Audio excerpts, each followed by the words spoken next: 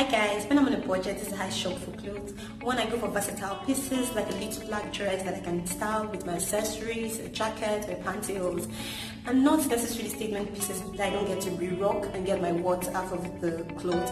My second one is going for thrift items. Now this is not necessarily vendor seller. This is going online to look for stores that are reselling pre-loved items or you know pieces that have just a little tweak on there and I get to rock designers without breaking cheers and I